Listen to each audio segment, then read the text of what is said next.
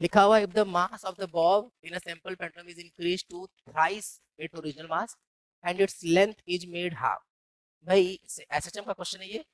Simple pendulum का जो time period होता है, वो तो under root L by G होता है। मास पर डिपेंड नहीं करता मास तो कट जाता है, सिर्फ़ लेंथ पर डिपेंड करता है। लेंथ को क्या किया गया है? आधा किया गया है, ठीक है? लेंथ को आधा कर दिया गया तो जो नया वाला टाइम पीरियड होगा टू पाई अंडर रूट में एल बाई टू जी होगा। हम करें वन बाई रूट टू को अलग कर लें। क्या बचा अंदर?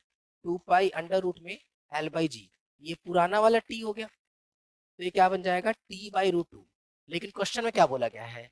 कि the new time period of oscillation is X by two times of its original मतलब कि one by root two is equal to T तो इसी की वैल्यू क्या बोली गई है? X by two X by two किसके इक्वल कर देंगे? वन बाई रूट टू की एक्स की वैल्यू क्या आएगी? Two by root two, X को लिख लेंगे रूट टू रूट टू, एक रूट टू, एक रूट टू, कैंसिल तो क्लियरली एक्स की वैल्यू क्या आएगी? रूट टू तो रूट टू अगर करेंगे तो इसको ऑप्शन नंबर कौन सा आ जाएगा? सेकेंड आ जाएगा, सही, क्लियर ना?